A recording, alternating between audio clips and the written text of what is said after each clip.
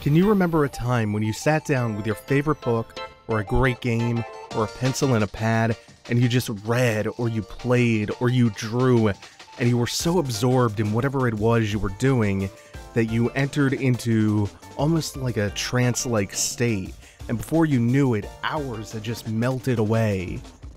That very specific feeling has a name. You had an autotelic experience, you experienced a state of flow. Today, we're going to look at flow in games using Super Hexagon as an example in this very first episode of Tiny Voices. Hope you enjoy.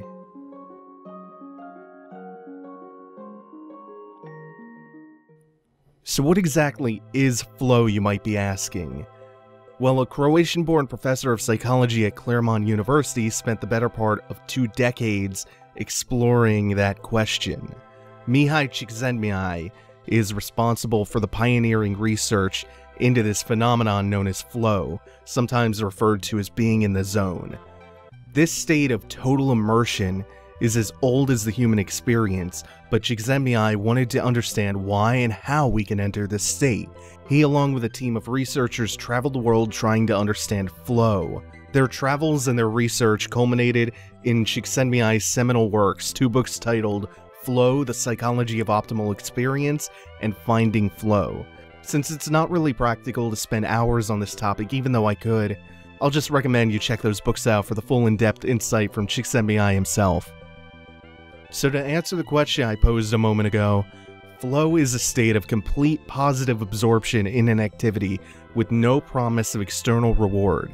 You do something because that activity, the act of doing it, is its own reward and flow comes about due to some very specific circumstances.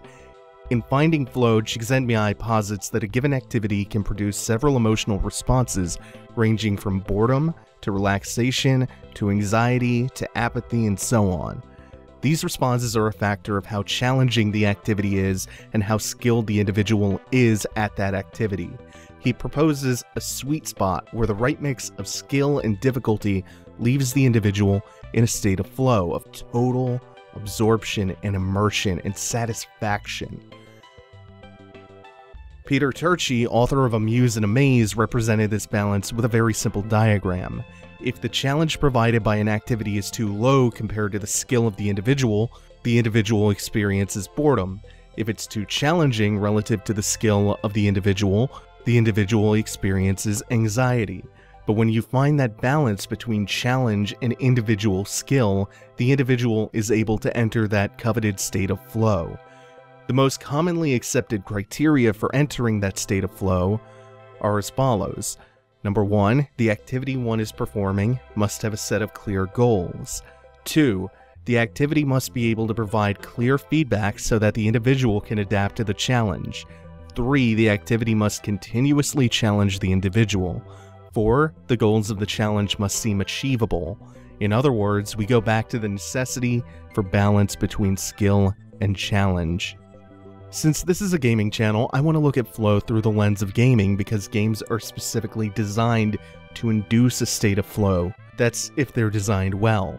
Some games might allow us to experience flow for a short time, but often they cease to continuously challenge us and we become bored by them, or they sometimes swing way too far in the other direction and present a challenge so vast that we might become anxious and thus less likely to be totally absorbed in them. Now, obviously, there's no such thing as one activity or one game that allows everyone to experience flow universally. It's not a one size fits all deal. That's not what my argument is trying to say. I've spent a good amount of time talking about flow and breaking it down. Now, I want to go one step further and apply what I've been talking about by looking at a practical example of a game that I personally think is the perfect example of a game made to induce that flow state. That game is Super Hexagon by Terry Cavanagh.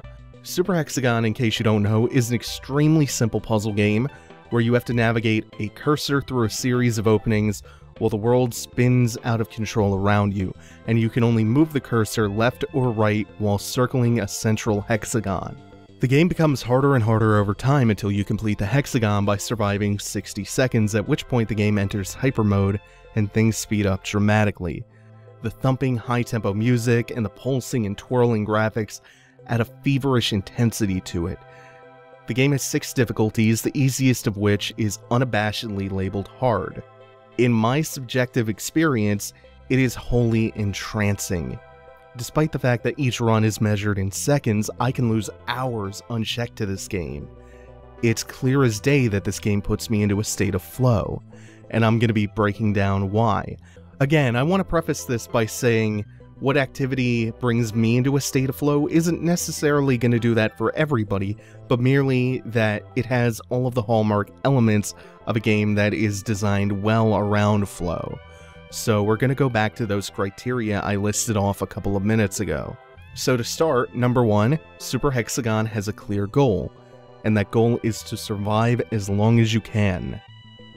Many people consider the goal of a run to make it 60 seconds, but truly, that's more of a sub goal because once you make it 60 seconds into a run, hyper mode kicks in. You don't automatically enter some sort of win state. The goal is simply to survive as long as possible. Number 2, Super Hexagon provides clear feedback. Games in general are usually pretty good about this, any obvious fail state is a clear form of feedback, but Super Hexagon's fail states not only provide feedback in the form of telling you that you game overed, but they also let you know how long you lasted. In a game where your only goal is to survive longer and longer and to continuously one up yourself, this clear numerical feedback is a very strong form of feedback, one of the strongest that you can receive, so that you can adjust and adapt and better your performance on the next run. Number 3, Super Hexagon continuously challenges the player. Not only is Super Hexagon renowned for being difficult, which we'll talk more about later, it never stops becoming more difficult as you become more skilled. Mechanically, that's the thrust of the game. The further you make it into the run, the more challenging the patterns you run into. If you make it to the 60 second mark, Hyper Mode kicks in. As you become better, you unlock the higher difficulty levels as well. There's functionally no end to Super Hexagon's ability to adapt to your skill level and become more challenging to meet your rising demand for a greater challenge. This bleeds into number 4. Number 4 is probably the most subjective element here, because some people are overwhelmed and frustrated by the early goings of Super Hexagon's easiest difficulty. This doesn't disqualify it from being a prime example of a game designed for flow. It's just a matter of talent and acumen and subjective experience. Just like some people will never find flow in Super Hexagon because the goals seem immediately unachievable, many beginners will never find intrinsic flow in playing the piano for the same reason. Still, I'd argue that because of the adaptive way that Super Hexagon handles difficulty, it more often than not leaves the player in the Goldilocks zone, difficult enough to skirt boredom, while manageable enough to skirt anxiety. What's most important is making it just a few seconds longer always seems achievable, Personally, I'm never dumbfounded and left wondering how it could even be possible to continue onwards, to continue improving. Improvement is gradual, but it's always clear that you're inching yourself towards progress second by second. And again though, nothing that I've said today about flow is specific to Super Hexagon, or even game design.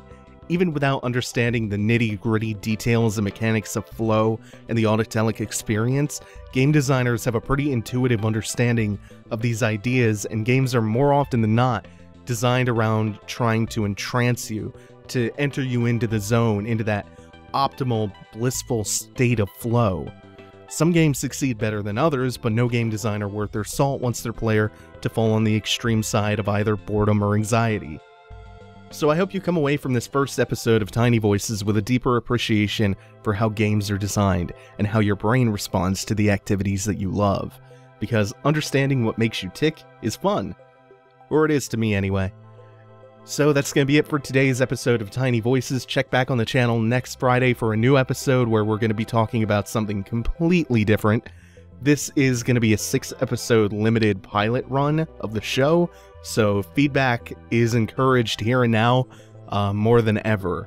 After the initial six week run of this, I'm going to go back to the drawing board, tweak it, and see uh, how things fit together. But this is a cool little experiment for me. I thank you for participating in it, and hopefully you learned something. That would be awesome.